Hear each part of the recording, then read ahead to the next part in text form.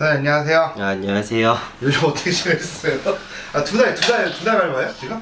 두 달 좀 넘지 않았나요? 세 달 됐나요? 네, 아, 그 정도 됐나? 아무튼 서로 바빠서. 바쁘기도 기도도 많이 다니고 이번에 아, 최근 네. 들어서 네. 근황, 근황 좀 이야기 좀 해주세요. 아, 근황이요? 네. 최근에 기도를 그냥 좀 많이 다녔어요. 예. 아직 애동이다 보니까 기도도 많이 다녀야 되는 것도 맞고 그동안 많이 못 다녔던 것 같아서 네.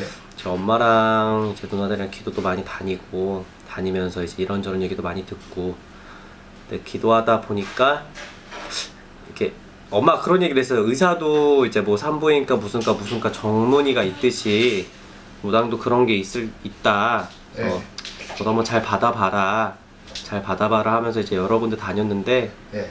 다니면서 보다 보니까 저 같은 사람, 저도 이제 어릴 때부터 그랬다 보니까 저 같은 경우에는 저 같은 사람도 많이 빌어주라고 많이 성불 볼 수 있게 좀 도와주라고 이제 제가 원래 사업을 꿈을 꿨잖아요. 사업하고 싶어 했던 그 꿈이 있었다 보니까 사업하는 사람들 재수 볼 수 있게 성불 볼 수 있게 많이 해주라고 그렇게 많이 비춰주시더라 보여주시더라고요.